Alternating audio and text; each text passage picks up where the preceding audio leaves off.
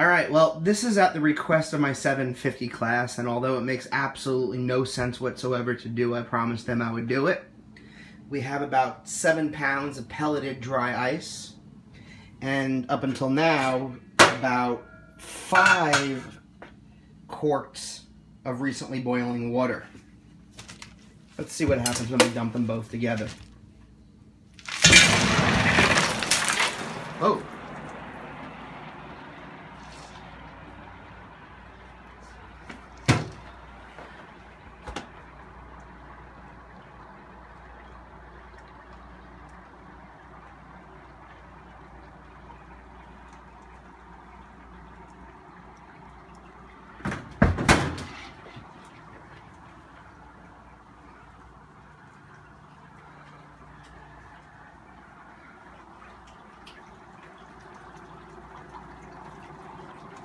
Well, we had initial explosion that actually reached the ceiling. Don't try this at home, by the way, under any circumstance. It's very easy to die from an experiment like this. I have certain safety protocols in place. Obviously, the CO2 is displacing the oxygen, still at a very high rapid rate on the counter.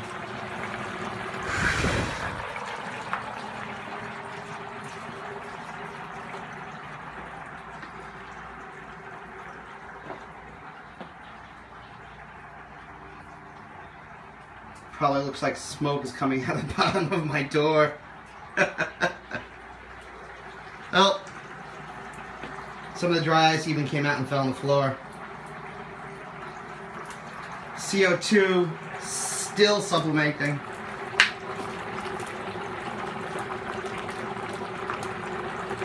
Two minutes into it. I'm gonna blow on it.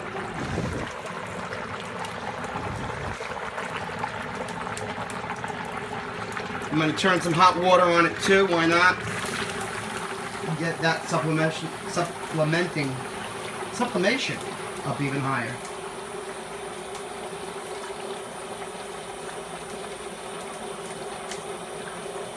Again, don't try this at home. The CO2 is displacing all the oxygen around it.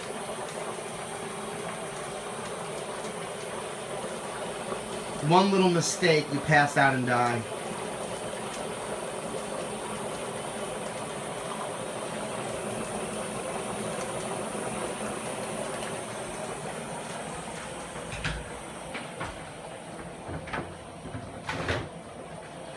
Got one of these cans of uh, compressed air here. Let's just uh, see what happens.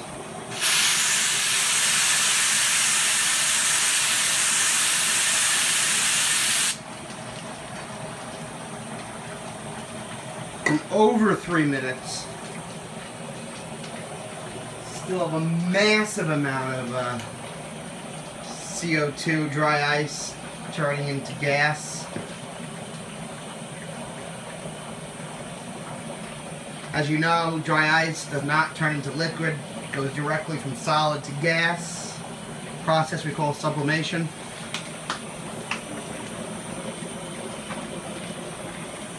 It's actually quite incredible. Now, here's what would be interesting. Let's try to put the lid back on the pot.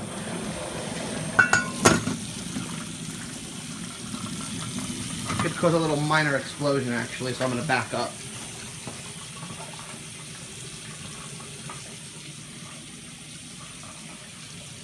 There's at least one or two of you wishing it did.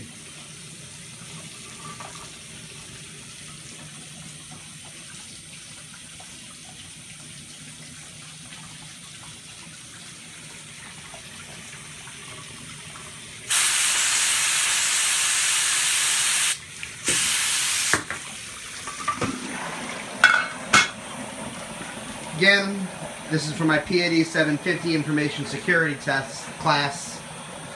We did some experiments today that required some dry ice, and they wanted to see what happens if I tried to melt all, well, sublimate all seven pounds at once. And here's your answer. A massive displacement of oxygen.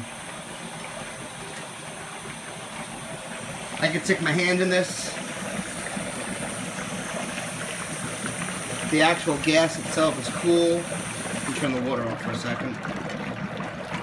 Actually, the boiling water that was once boiling is now ice cold.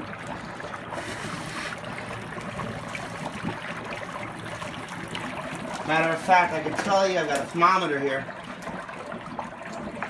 The water that was boiling only five minutes ago is now 82 degrees.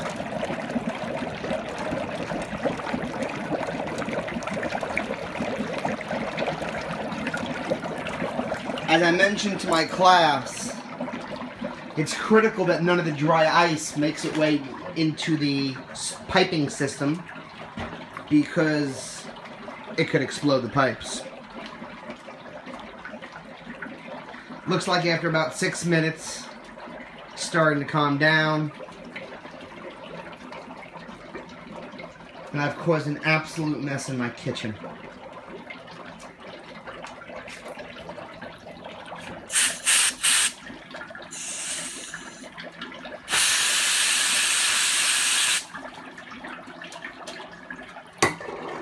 Well, folks, that's just about all you get. Adam Wandt, John Jay College, with a highly irresponsible experiment. My 750 class. Don't try this at home. This is what happens when you dump 7 pounds of dry ice into 5 quarts of boiling water. Hope you have a good evening.